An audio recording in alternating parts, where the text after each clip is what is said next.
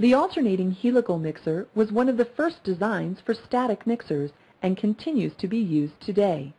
The most common design is a 180 degree helix which is reoriented 90 degrees between each successive element.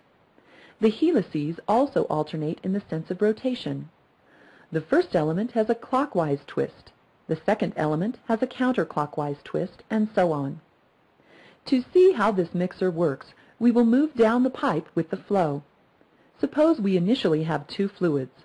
One fluid is present in the center of the pipe, surrounded by the other fluid. The design of the helix rotates the fluid as it moves down the pipe. The next element cuts the fluid in half and rotates the fluid in the opposite direction. This rotation and cutting continues as each element is encountered.